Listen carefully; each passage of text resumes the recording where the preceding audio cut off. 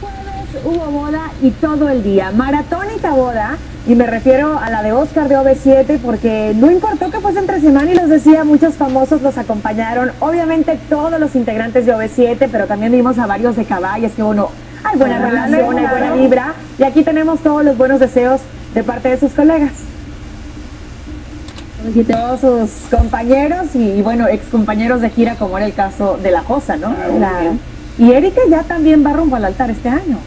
Así es que van a ser dos OV7 que este año pues ya Tengan en familia, la verdad. Qué bueno. Oigan, y cambiando de tema, anoche fue de verdad especial para Salma Hayek y Eugenio Derbez. Pero internacional, es bien sabido que mi querida Mariah Carey no repara en lujos y vaya que en su cumpleaños menos. Hace unos días la cantante cumplió 45. Es una mujer sexy por donde la Voy a veas. decirte que si yo me veo hacia los 47 tengo mucho que agradecer en la vida. Sí, no, se ve muy bien, lo que sea de cada quien. Oigan, más adelante, el extraño retorno de Diana Salazar.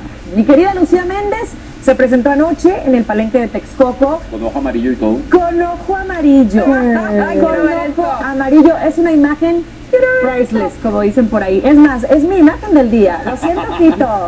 Es mi imagen del día, pero esa se la tengo la para cerrar el día de hoy. Oye, vamos a estar así entonces. No, no puedo, no puedo ni creerlo. Gracias a Dios no pudo volar. Dijo ella que, que- rojo. que no se dio la seguridad en el palenque, Bueno. porque está más limitado. Pero ojo amarillo, toda la entrevista de miedo. De por sí No ya con la cara. en unos minutos más Sí. con Antonella. Así es que más adelante mi siguiente intervención, Diana Salazar retorna. Qué miedo. Fito. Compañeros, a nivel de cancha, continuamos con la información deportiva y es que en una exclusiva habló el señor. Continuamos, continuamos con la información deportiva. ¿Qué es imágenes? Marcela está enojada. Hay que tener cuidado dónde se juegan los Niños que hay que involucrarlos en, los, en el juego y pues pasan esas cosas, ¿no? Suele pasar. No, suele Ya pasar. A lo mejor a tu baby le va a pasar un día, Ay, no, no. puedes andar ahí. Tiene que pararse y seguir adelante. Y además lo vas, en la cabeza. lo vas preparando para ir cabeceando para, Para los golpes de fútbol. Efectivamente. Él va a hacer otra cosa. Bueno, Marcelita. ok. Oigan, antes de despedir, les recuerdo que aún tienen la oportunidad de participar e inscribirse para eh, un boleto doble para el Pal Norte, este festival de música que se llevará a cabo este fin de semana a partir del día de hoy eh, a las 4 de la tarde y el día de mañana a partir de mediodía, donde estará Manada, aquí los enanitos verdes, etcétera, etcétera, etcétera.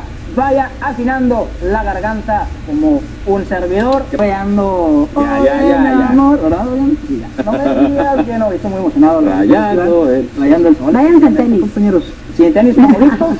Y bueno, pues hasta aquí con la información deportiva, compañeros. Muchísimas Cuídate, gracias. Nos veremos en menos de una hora. A nivel de cancha. Gracias, ánimo.